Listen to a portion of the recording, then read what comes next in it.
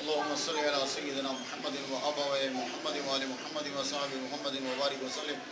یا رب لك الحمد كما ينبغي لجلال وجهك وعظيم سلطانك يا ارحم الراحمين. ہماری آج کی حاضری اپنی بارگاہ میں قبول فرما آمین. جو ذکر کیا جو فاتحہ پڑھا مالک سب تیری بارگاہ میں پیش کرتے ہیں قبول فرما.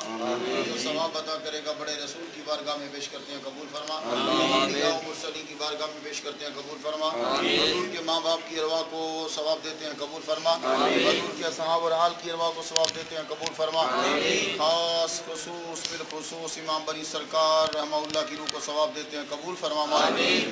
ان کے جتنے چاہنے والے ارد گرد مدفون ہیں مالی سب کی ارواح کو ثواب دیتے ہیں قبول فرما آمین۔ یا اللہ جہاں تیرے بندوں کا ذکر ہو وہاں رحمت تو جہاں تیرا بندہ خود ہو وہاں رحمت ہی رحمت رحمت علی رحمت۔ پروردگار عالمین کے صدقے سے جتنے لوگ یہاں آئے سب کی نیک دلی مرادیں پوری فرما۔ سب کی پریشانیاں دور فرما۔ سب کی مشکلیں آسان فرما۔ یا اللہ دونوں جہاں میں بھلائی عطا فرمانا۔ ذلت اور رسوائی سے بچانا۔ ساری زندگی اپنا محتاج رکھنا دنیا کی محتاجی سے نجات عطا فرمانا۔ شیطان کے شر سے اور حاسدین کے حسد سے محفوظ فرمانا۔ سب کے رزق میں برکت پیدا فرما۔ کسی کا کوئی بیمار ہے تو شفا کلی عطا فرما۔ کسی کے پاس گھر نہیں ہے تو اے اللہ ان کے صدقے سے گھر عطا فرما۔ کسی کے رزق میں کمی ہے تو اے اللہ ان کے صدقے سے رزق میں برکت پیدا فرما۔ جو مرد جو عورت جو حاصلے کرائے مالک ان کے صدقے سے پوری فرما دے۔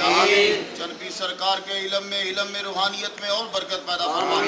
کچھ نہ چیز کے علم میں اور حلم میں اور برکت پیدا فرما۔ جتنے مریدین اور چاہنے والے آئے مالک سب کی نیک دلی مرادیں پوری فرما۔ یا اللہ دنیا کا محتاج نہ رکھنا بس اپنا محتاج رکھنا مالک۔ ہر عمل آسان فرما دے اور ہر عمل کا انجام بخیر فرما دے۔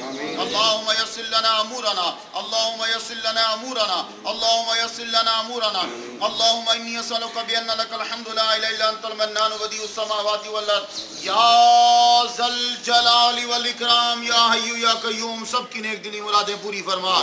سب کو سکون عطا فرما۔ سب کی مشکلیں آسان فرما۔ سب کے معاملات پورے فرما دے مالک۔ وصلی اللہ تعالی علی آخر حلقی محمد و صحابی اجمعین۔ نبی کی آل پر درود۔